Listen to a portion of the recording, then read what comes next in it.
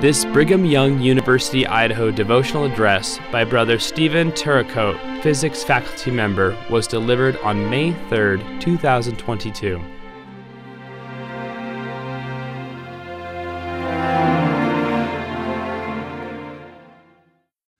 Stephen Turcotte grew up in Ithaca, New York. He received his bachelor's degree from Cornell University in applied and engineering physics. He had recently started graduate school at MIT studying earth and planetary sciences when he met two missionaries and was baptized into the church. After serving a full time mission in the Mon- Mexico Monterrey mission, he earned his PhD from the University of Utah in electrical engineering. Brother Turcotte spent six years at Utah State University in Space Dynamics Laboratory before coming to BYU Idaho in 1997 to teach in the physics department. Brother Turcotte met his wife, Justine, in a home evening group at the University of Utah. They have six children and two grandchildren. He enjoys skiing, swimming, backpacking, and adventures with his family. Brother Turcotte has held multiple callings in the church, including scoutmaster, young men's president, elders quorum president, gospel doctrine teacher, bishopric member, and stake clerk. He presently serves in the High Council of the Rexburg East Stake. Over the 25 years that I've been here at BYU Idaho, I've been inspired by so many devotionals. They have been an important part of my own spiritual education. So it is a great blessing and opportunity to be able to speak to you this morning and contribute in some small way. My prayer is that I'll be able to say things that will be helpful to each of you.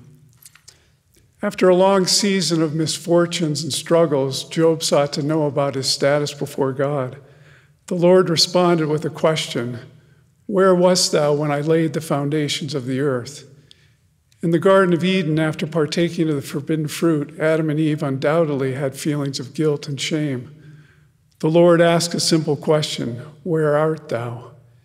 In both of these cases, I don't think that the Lord was asking about their spatial location. He was inquiring about their spiritual condition.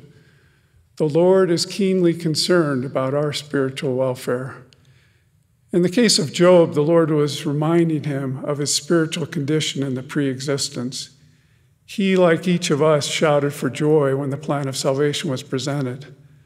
Not only did we have great faith in the plan at that time, we also had hope in future important events. We had hope that a world would be created for us. We had hope that Eve and then Adam would use their agency to initiate the fall. And most important of all, we had hope that the Savior would perform his great atoning sacrifice. My goal this morning is to rekindle some of this great hope that each of us nobly demonstrated so long ago.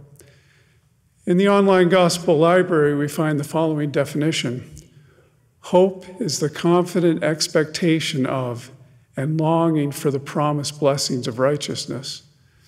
The scriptures often speak of hope as anticipation of eternal life through faith in Jesus Christ. The principle of hope extends into the eternities, but it also can sustain us through the everyday challenges of life. The hope just described is very different from the hope that we use in our everyday speech. Hope is not an emotion, it isn't a state of mind. It is much more powerful. It is spiritual in nature, and it is also eternal. In the world, there is an element of uncertainty when we hope. In the gospel, there is surety to our hope. This brings up the question can we have true hope without the gospel? I would answer no. True hope can only be found in the gospel of Jesus Christ. As the apostle Peter taught, but sanctify the Lord God in your hearts, and be ready always to give an answer to every man that asketh you a reason of the hope that is in you with meekness and fear. Mortal life has its joys and challenges, but we hope for a better life in the world to come. We have hope in the resurrection and we look forward to being with our loved ones in the next life. These are hopes that we can share with others. As we do, we may receive questions about the reason for our hopes. In the scriptures, we often find hope in the same phrase with faith and charity. There are numerous scriptures that indicate how these principles are coupled together. We can't have one without the others. In some of his final words to us, Moroni simply said, Wherefore, there must be faith, and if there must be faith, there must be hope. And if there must be hope, there must also be charity. President Russell M. Nelson gives us insight into this relationship. He said, Faith is rooted in Jesus Christ. Hope centers in his atonement. Charity is manifest in the pure love of Christ. Elder Neal A. Maxwell, in his unique way, gives us a way to visualize the connection between faith and hope. He said, Faith and hope are constantly interactive and may not always be precisely distinguished or sequenced. Though not perfect knowledge either, hope's enlivened expectations are, with surety, true in the geometry of restored theology, hope has a greater circumference than faith. If faith increases, the perimeter of hope stretches correspondingly. Faith and hope strengthen each other. As one enlarges, the other also grows. We can think of them as two concentric circles. As President Nelson taught, our faith and hope are centered on the Savior. As our faith in the Savior grows, our hope in his atoning sacrifice will also grow. We could also add another circle representing charity, which will expand as our faith and hope grow. The relationship between faith and hope is addressed in a poem entitled Walking with Two Sisters, written by Larry Hiller. Faith walks before me, holding up her lamp, as I try not to stumble in the ink dark hours before the dawn her light illuminates one step and then another. Beside me, hope, arm linked with mine, encourages and steadies. Sometimes in the tedium, distracted by the pain, my mind begins to wander. Then my feet, I hesitate. Unsure, I look to hope. Her hand takes mine. The touch reminds me of another hand held out to me, one pierced and scarred, yet oh so tender lifting me and blessing me when I had fallen and despaired. Remembering, I move ahead, buoyed up by hope, who sees the end with perfect clarity. In a general conference talk entitled The Infinite Power of Hope, Elder Dieter F. Uchtdorf said, Hope is both a principle of promise as well as a commandment. And as with all commandments, we have the responsibility to make it an active part of our lives and overcome the temptation to lose hope. How do we keep this commandment? How do we overcome the temptation to lose hope and instead make it an active part of our lives? In this same address, Elder Uchtdorf identified hope as a gift of the Spirit. The gift of hope comes by the power of the Holy Ghost and requires effort on our part. As with other gifts of the Spirit, we can strengthen hope through our sincere and earnest prayers. A good example of this is found in the conversion of King Lamoni's father. Aaron had taught King Lamoni's father about the creation, the fall, and the atonement. In response to these teachings, the king asked, What shall I do that I may have this eternal life of which thou hast spoken? Yea, what shall I do that I may be born of God, having this wicked spirit rooted out of my breast, and receive his spirit, that I may be filled with joy, that I may not be cast off at the last day. Behold, said he, I will give up all that I possess. Yea, I will forsake my kingdom, that I may receive this great joy. King Lamoni's father wanted to have hope and joy in his life. And Aaron responded by teaching the king what would be required. If thou desirest this thing, if thou wilt bow down before God, yea, if thou wilt repent of all thy sins, and will bow down before God and call on his name in faith, believing that ye shall receive, then shalt thou receive the hope which thou desirest. Aaron taught King Lamoni's father how he could have, could have hope in the blessings of eternity. It's amazing to think that this great hope can be placed in our heart through the power of prayer and repentance. Hope can also be increased through our study of the scriptures. The Apostle Paul said, for whatsoever things were written aforetime were written for our learning, that we through patience and comfort of the scriptures might have hope. At the end of the Book of Mormon, we read about the destruction of two separate civilizations on the American continent. If there was anyone that had a good reason to feel despair, it would have been Ether, Mormon, and Moroni, who witnessed this destruction. Instead, their messages to us are filled with hope. Indeed, all three of them taught extensively about the principle of hope. The clear message is that it was hope that helped them to look heavenward in those most difficult of times. Let me just let me share just one of these verses from Mormon. And what is it that ye shall hope for? Behold, I say unto you, that ye shall have hope through the atonement of Christ and the power of his resurrection, to be raised unto life eternal, and this because of your faith in him, according to the promise. On this week's devotional discussion board, one of the questions I asked was, What are some of the scriptures that fill you with hope? There were so many excellent responses to this question.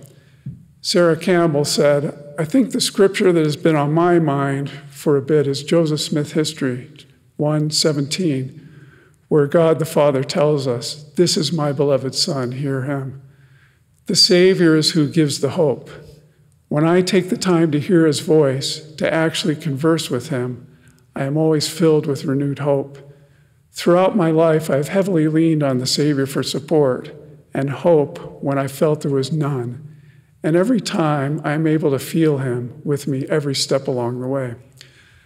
Dominique Jackson Biggs said, 2 Nephi chapter 4 gives me hope because Nephi points out that regardless of faults and flaws, the Lord still wants to assist and help us. I have felt that love and support and still do. Close quote. Hope is developed through prayer and the scriptures. It also results from the experiences of our lives. Paul taught, and not only so, but we glory in tribulations also, knowing that tribulation worketh patience, and patience experience, and experience hope. Not all experiences build hope. The experience is where we look to the Savior and his atoning sacrifice to help us get through challenge, overcome a weakness, or become a better person. These are the experiences that build hope. Let me now describe the personal experience that brought the hope of the gospel into my life. I was 21 years old and I had just finished my undergraduate degree at Cornell University. Just a week or two after graduation, I headed up to Cambridge, Massachusetts to start graduate school at MIT. I knew no one in the Boston area. I didn't know what to expect. I'm sure a lot of you had similar experiences as you have left your familiar surroundings and ventured out into the unknown. Those first two weekends in Cambridge were rainy and cold, and, and it was in June at that time. I, would planned on exploring the Boston area, but I was confined to my graduate dormitory room all alone. I'd started to read some works by C.S. Lewis, and his book Mere Christianity had a real impact on me. I started to ponder if I could live a true Christian life. Two desires started to form in my heart. I wanted to find a decent group of friends, and I wanted to find the truth. I didn't know how to formally pray, but I found myself repeating a simple phrase, asking the Lord to show me the light. It was soon after those two rainy weekends and my request for light from above that I met two missionaries, Elder Dewey Gardner and Elder Bruce Meek. They were street contacting on the edge of the MIT campus. One of the missionaries asked me the inspired question do you want to learn more about Jesus Christ?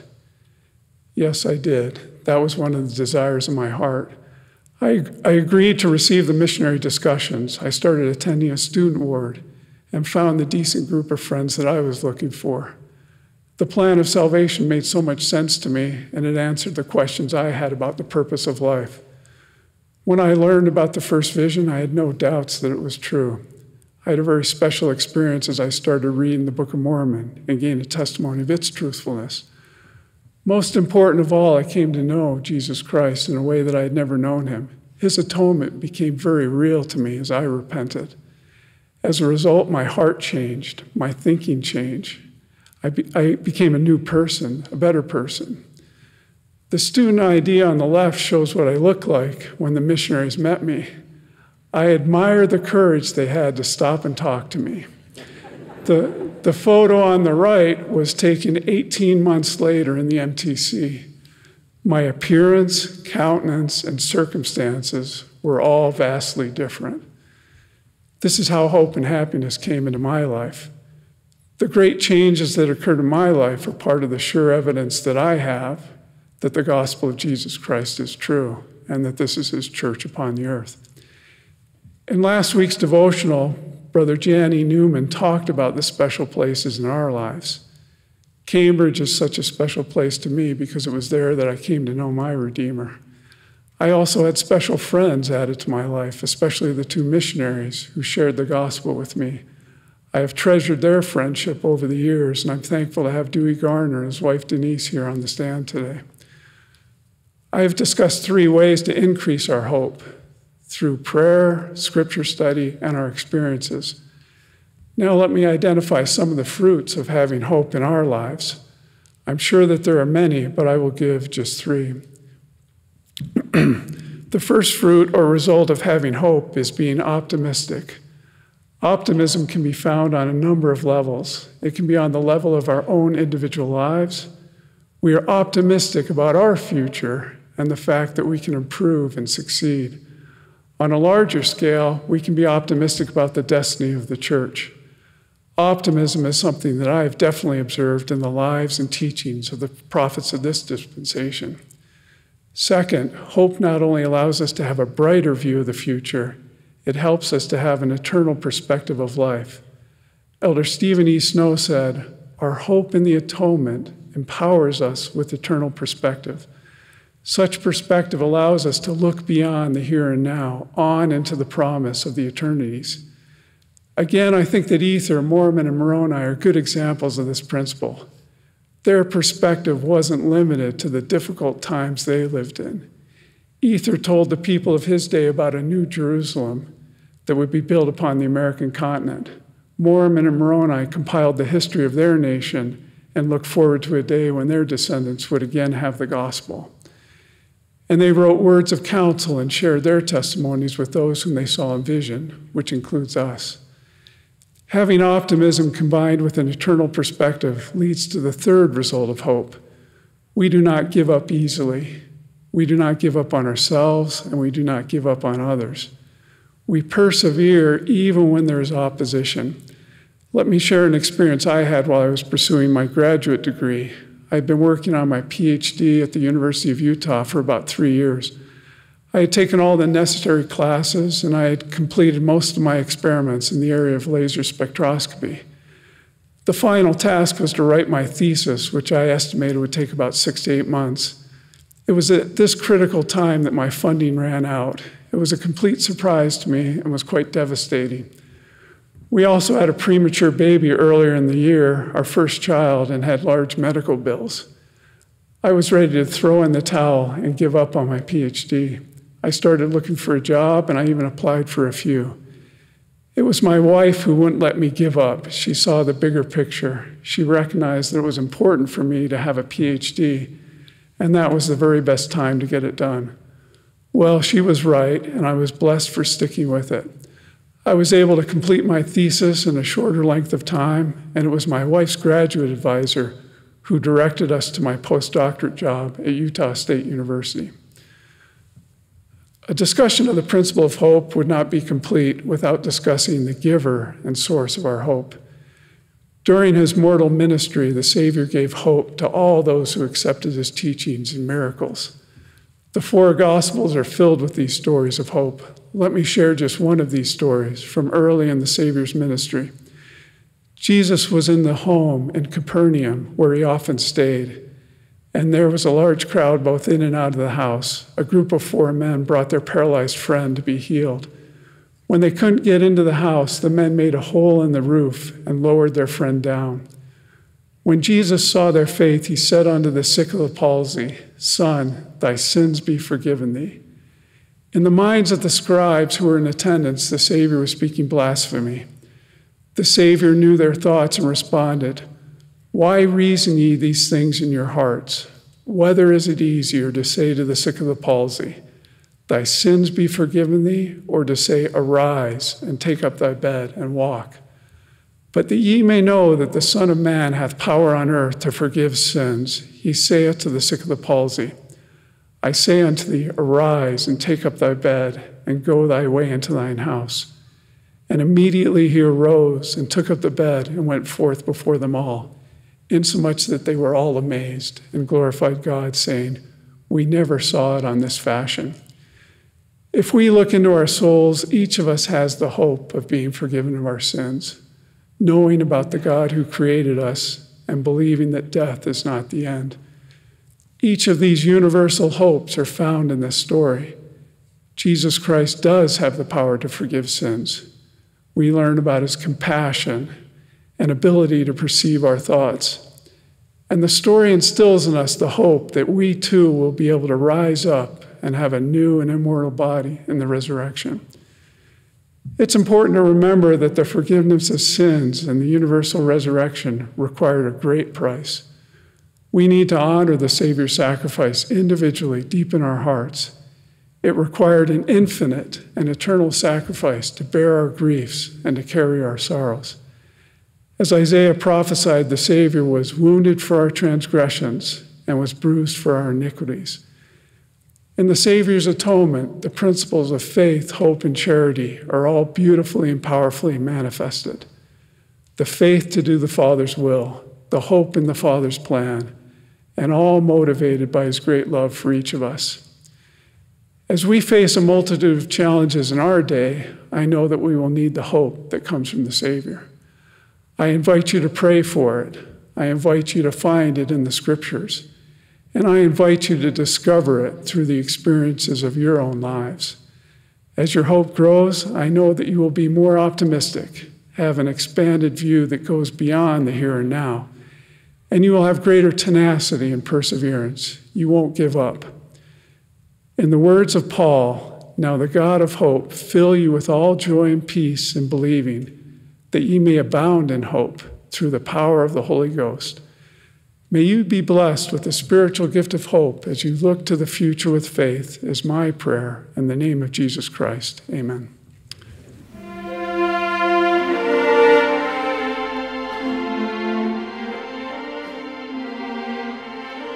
For more information about this program, please visit the BYU Idaho website at byui.edu/devotionals.